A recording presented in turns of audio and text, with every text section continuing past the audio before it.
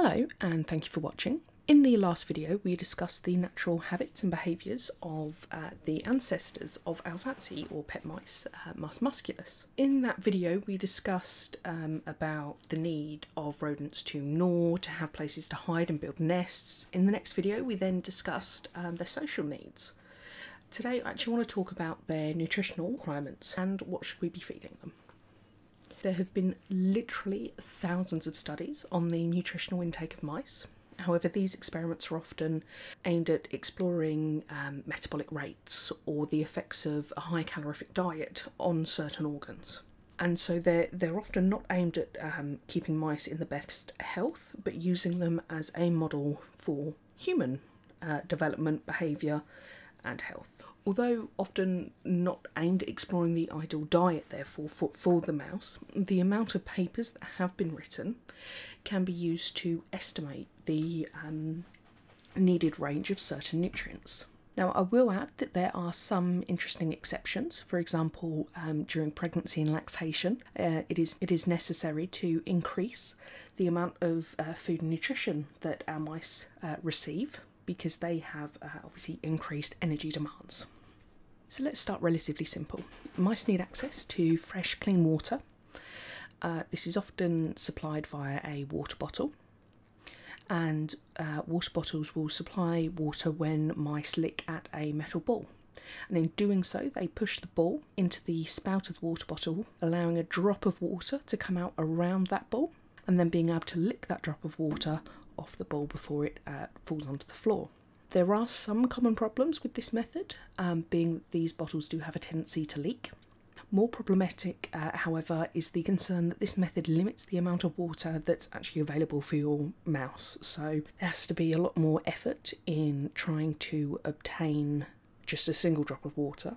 And if, say, you wanted to have four or five of them, it's a lot of effort and time that you have to spend licking. So the other option is going to be a water bowl and that allows mice to drink more naturally and freely.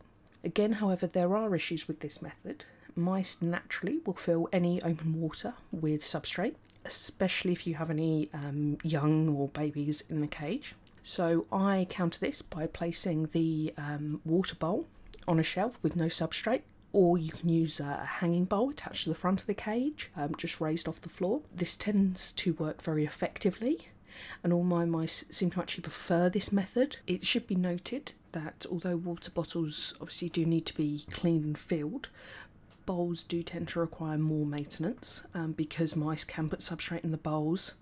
Um, they also quite like to add foods to the bowls um, or go to the bathroom in the water itself. So it does mean that it's very important not just to top them up but to ensure that they are clean. Each mouse will normally require 4 mils of water each day. During hot periods, that can raise up to 7. And in females with litters, that can increase to over 14 millilitres per day per mouse. So, although this sounds like a, a small amount, it is important that mice have uh, constant access to clean water so that they can meet that biological need. With that covered, I want to discuss the um, dietary needs of pet mice. In general, wild mice eat a lot of seeds, nuts, and grains, as well as other plant matter and even insects. So, I want to start by considering the concentrations of these macronutrients. So, let's start off with fats and lipids. They're going to be needed for things like the absorption of fat soluble vitamins and also to build up their own fat stores. We know that different strains of mice cope very differently with changes in protein concentration, but as a general guide, around 5% uh, protein is needed, and more than 15% protein in a mice diet can actually be disadvantageous. Now, carbohydrate wise, uh, mice diets are generally high in carbohydrates, and that mimics the natural diets because seeds are naturally high in carbs but there are different types of carbohydrates. So it's important to think about the difference between monosaccharides, which are linked to fatty liver disease, versus disaccharides, uh, which are, are, generally found to have less negative um, influences. So, with that in mind, we need to be offering our mice uh, a diet that contains over 40% carbohydrates but you want to be ensuring that the uh, source of these are complex carbs and not simple carbs such as refined sugar. Then moving on to calcium and phosphorus, uh, they're both needed um, and involved in the formation and maintenance of bones, um, both in mice and humans. In mice, it's been found that high levels of phosphorus uh, is actually associated with reduced bone calcification, so poorer growth and lower uh, weight. So, the appropriate values that we'd be looking for would be uh, approximately 5 grams of calcium per kilogram of um, diet food um, and 3 grams of phosphorus per kilogram of diet. Uh, magnesium deficiencies, especially during lactation, have been associated with sudden death uh, in pet mice and, and in laboratory mice, and that's normally found when magnesium is lower than 300 milligrams per kilogram of the diet. It, it is also interesting to note that the requirement for magnesium increases um, over not only pregnancy but during lactation and can be as high as 700 milligrams per kilogram of food. But it's also been found that you can go up to like 2,500 milligrams without negative side effects. Um, so there's a little bit more freedom um, with that involved. With potassium, you're looking at 2 milligrams per kilogram, and that's been shown to support growth. Um, however, levels of up to 8.7 haven't shown any negative consequences. So, again, that's another thing that you've got a little bit of a range for. The need for sodium and chloride in mice is relatively low, um, and although that's not been well researched, it's estimated that it's as low as half a gram of sodium per kilogram of diet, uh, and the same for chloride. Moving on to your smaller vitamins and minerals. Um, we've also got copper, which is uh, estimated at 6 milligrams per kilogram, but we know during lactation that needs to increase to 8 milligrams. For iron, uh, mice actually need 35 milligrams per kilogram, but for reproduction, um, so both pregnancy and lactation, that can increase all the way up to 120 milligrams per kilogram. So they do need a good source of iron. Manganese is around 10 milligrams per kilogram. Um, zinc uh, in adult mice, you need approximately 10 milligrams per kilogram, but again, for pregnant and um, lactating females, that would increase to 30. We know that an adult mouse will eat approximately 3.5 grams of food per day. And with the requirements above, we can consider um, good sources of food. So many mice diets are given in a muesli style.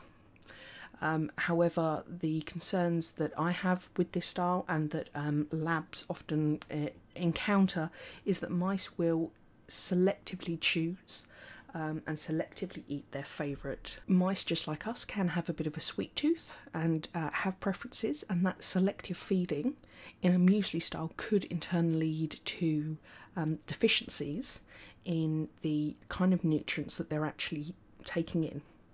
So, for that reason, uh, myself and many others prefer a nugget style food, and that basically means that all of those nutrients are blended together and then formulated into sort of a, a nugget or a pellet style, and that is then offered to the mouse. Now, there are a couple that um, tend to come up quite regularly. These are things like Science Select, uh, Burgess, or Mr. Johnson's in terms of uh, the companies. With the knowledge that we now have, we can begin to uh, consider the appropriateness of those mouse diets that, that are widely used.